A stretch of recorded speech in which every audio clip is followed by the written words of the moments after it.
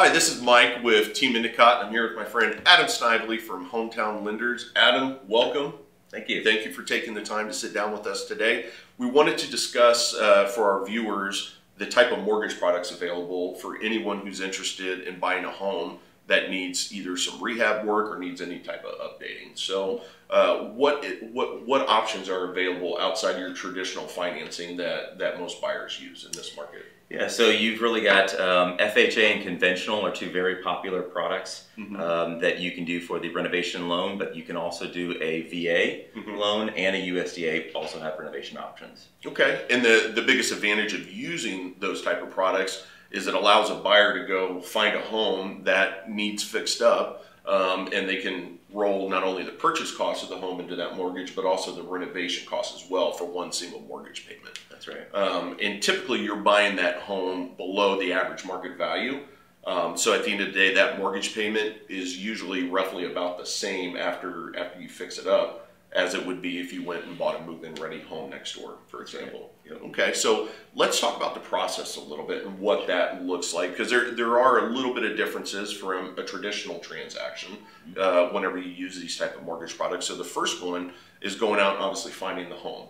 If you've seen any HGTV show where you know buyers are going out and they're looking at at fixer uppers or any type of homes that need to be rehabbed, um, they're usually using one of these mortgage products in order to purchase and and you know pay for the rehab expenses. So um, step number one, go find the home, get it under contract. That's right, get it under contract, and uh, the contract is just the same. It's not a special uh, purchase agreement. It's the same one you typically use.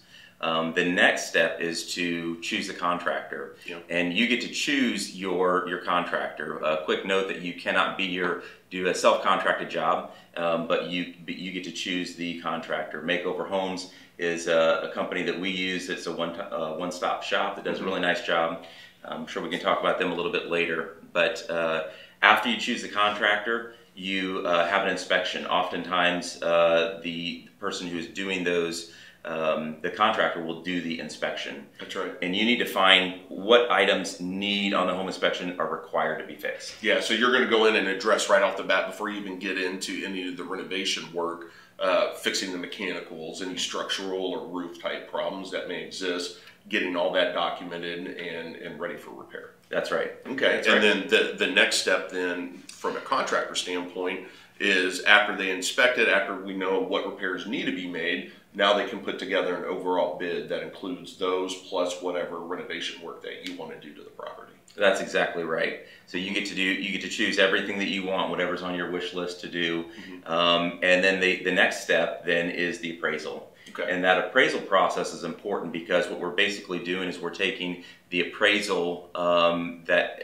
uh, we're taking the appraisal along with what the contractor bid came in at, mm-hmm. And that is going to help determine our future value. Yeah, so they're really looking that future value is the key there. Yes. So the the value of the property after the repairs have been done um, is is what the appraiser is really looking at to determine the value of the property. That's right. So okay. really, that that uh, the purchase price plus the renovation costs should equal that uh, that final appraised value. Okay, sounds good. And then the last step, obviously, would be to Close. Go, go, to closing. Yep. Which yep. is the day of celebration. You you get the keys to the home and that's right. Get to uh, get to own it and get the work uh, started from that point on. That's right. So the renovation phase starts after closing. Uh, you can start immediately. There's no delay, and uh, generally you have about six months. Uh, to to have those completed unless there's extenuating circumstances. That sounds awesome. So that that that in a nutshell is basically the entire process, kind of from start to finish. So very similar to a traditional home purchase, few minor uh, little little differences there, but it is a very streamlined process, especially when you work with a pro uh, like Adam here, who's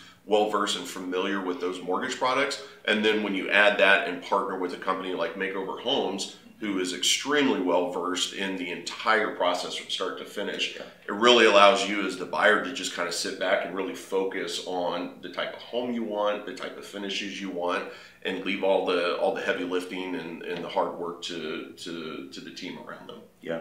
Okay. Yeah. Well, if you have any questions about any of that or, or any other questions about those mortgage products, um, give Adam a call, give myself a call. The info is here on the screen for you, and we look forward to seeing you again soon.